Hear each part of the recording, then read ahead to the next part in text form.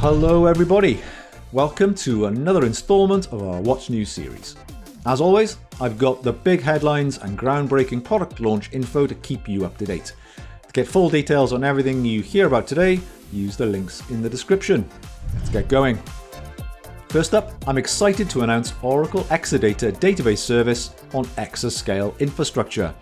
This launch brings all the benefits of the Exadata database service to any size workload. If your databases call for Exadata, but the cost of entry is holding you back, definitely take a look at this service. It's available today with Oracle Database 23 AI, so you can also take advantage of features like AI vector search. Next up, we just launched our Ampere A2 ARM-based compute instances.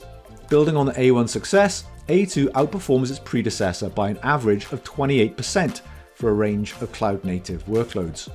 It's ideal for containerized applications, media, and web services. You can try A2 today through the portal. Next, we're expanding our Oracle Cloud VMware solution with new compute shapes. The latest additions include NVIDIA A10 Tensor Core GPUs and our E5 standard shapes powered by 4th gen AMD EPYC processors. These offer up to double the performance for graphics intensive and CPU heavy workloads.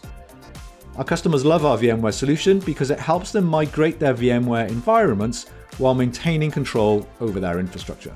If you're a VMware user and you want to know more, check out the details in the links. Our partnership with Microsoft is still making waves.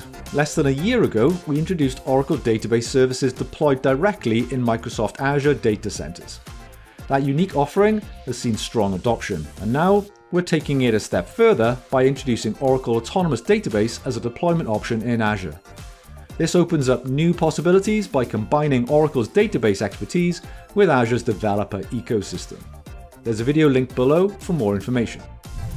And finally, Oracle Cloud World is just around the corner. From keynote presentations to hands-on labs, we have some amazing sessions planned out for you. If you'd like a taste of what's to expect at Cloud World, check out the Countdown to Cloud World video that's linked to this channel. Hopefully, I'll see you all there. That's all for this episode. I'll see you next time for more news and insights from what's new. Have a good one.